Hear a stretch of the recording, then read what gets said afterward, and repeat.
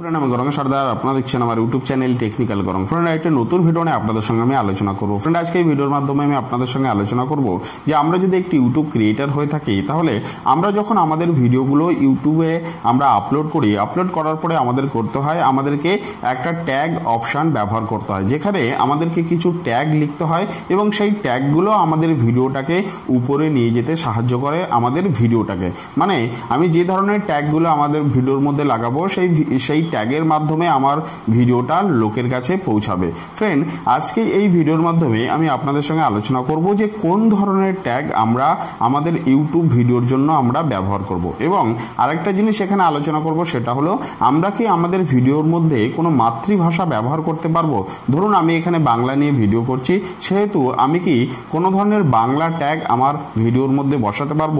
এবং আরেকটা জিনিস এখানে আমি আলোচনা করব সেটা হলো যে আমি যদি একই ট্যাগ আমার প্রত্যেক ইউটিউব ভিডিওর জন্য ব্যবহার করে থাকি, তাহলে কোন ধরনের ক্ষতি আমার চ্যানেলের জন্য হতে পারে? তার জন্য ভিডিওটি আপনাদের লাস্ট পর্যন্ত দেখতে হবে। এবং যারা যারা আমার চ্যানেলে নতুন আছে, তাদের জন্য বলছি আমার চ্যানেলটা সাবস্ক্রাইব করে রাখুন এবং পাশে যে বেল আইকন আছে, সেটা প্রেস করে রাখুন। যার ফলে কী হবে?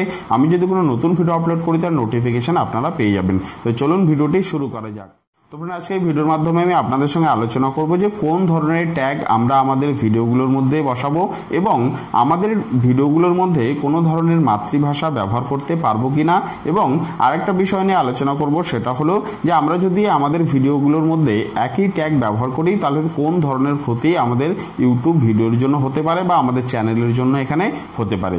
ফ্রেন্ড প্রথম যে বিষয়টা হলো সেটা হলো যে কোন ধরনের ট্যাগ আমরা আমাদের ইউটিউব ভিডিওগুলোর মধ্যে বসাবো, সেটা হলো যে আমরা সব সময় দেখব যে কোন ট্যাগগুলোর সার্চিং র্যাঙ্ক বেশি।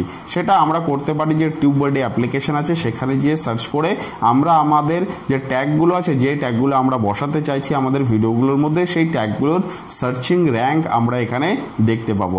ফ্রেন্ড আপনি যদি আপনার টিউববার্ডে অ্যাপ্লিকেশন থেকে থাকে, সেখান থেকে আপনি আপনার যে ট্যাগ আছে, সেই যে ট্যাগটা আপনি বসাতে চাইছেন আপনার ভিডিওর মধ্যে, সেই ট্যাগটা যদি আপনি সেখানে লেখেন এবং তার সার্চিং র্যাঙ্ক আপনি চেক করতে চান তাহলে অব- অবশ্যই। তার সার্চিং র্যাঙ্ক আপনি এখান থেকে পেয়ে যাবেন। এবং সেখান থেকে দেখবেন যে যে ট্যাগের সার্চিং র্যাঙ্ক সবথেকে বেশি সেই ট্যাগ আপনি আপনার ভিডিওর টাইটেলের ট্যাগে এখানে আপনি বসাতে পারেন। এখানে আপনাকে করতে হবে সেম জিনিস আপনি যখন টাইটেলে লিখবেন এটাকে আপনাকে ট্যাগে এখানে বসাতে হবে। কিন্তু এটা আজকের কোনো টপিক নয় সেহেতু আমি সেখানে ডিসকাস করছি না। এবং পরের বিষয়টা আমি বলব সেটা হলো যে আমরা কি আমাদের ভিডিওগুলোর মধ্যে কোনো ধরনের মাতৃভাষা ব্যবহার করতে পারি? ফ্রেন্ড যেহেতু আমি এখানে বাংলা নিয়ে ভিডিও করছি, সেহেতু অবভিয়াসলি আমি আমার ভিডিওগুলোর মধ্যে বাংলা ট্যাগ বসাতে পারি। কিন্তু বাংলা ট্যাগ আমরা বসালে আমাদের যে ভিডিওগুলো আছে, সেই ভিডিওগুলো তাড়াতাড়ি এখানে লোকের কাছে পৌঁছাবে না। কারণ কি হলো যে বাংলা যে ভাষাটা আছে বা অন্য যে কোনো ভাষা দিয়ে আপনি ধরুন ভিডিও করছেন, আপনি যদি আপনার যে মাতৃভাষা দিয়ে ভিডিওর মধ্যে ট্যাগ ব্যবহার করেন, তাহলে কি হবে?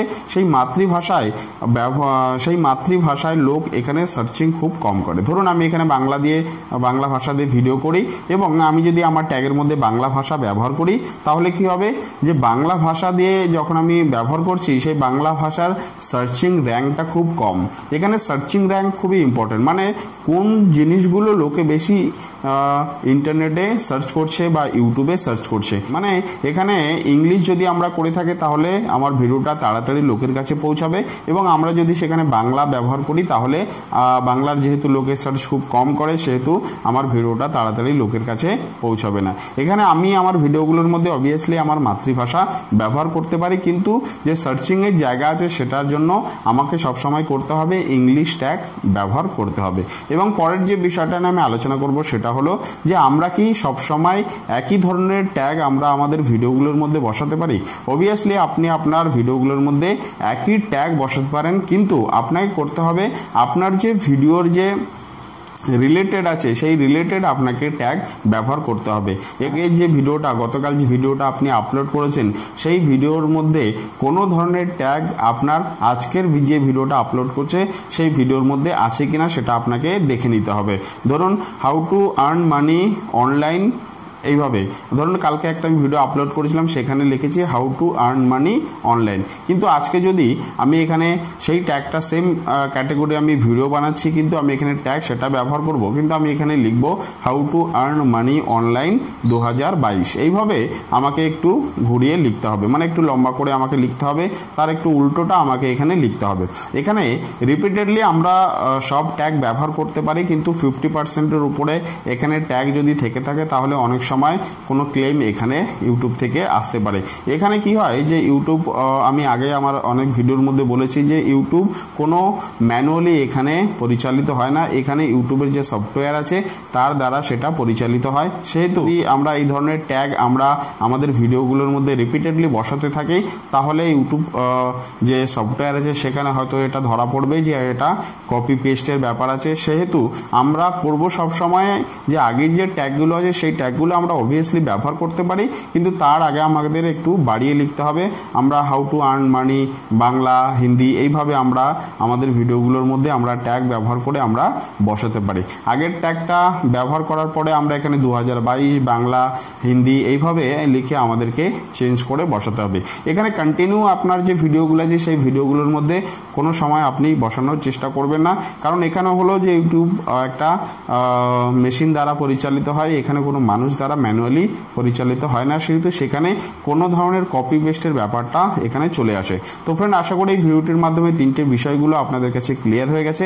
আপনাদের যদি ভিডিওটি ভালো লাগে, তাহলে অবশ্যই ভিডিওতে একটি লাইক করুন এবং আপনার যদি কোনো মতামত থাকে, তাহলে আমাকে কমেন্টস করে জানাতে পারেন এবং আপনি যদি মনে করেন এই ভিডিওটা অন্য কারোর উপকারে লাগতে পারে, তাহলে অবশ্যই ভিডিও আপনি এখানে শেয়ার করতে পারেন। এবং সবশেষে একটাই কথা বলব, আপনারা ভালো থাকুন, সুস্থ থাকুন এবং আমাদের পাশে থাকুন। ধন্যবাদ।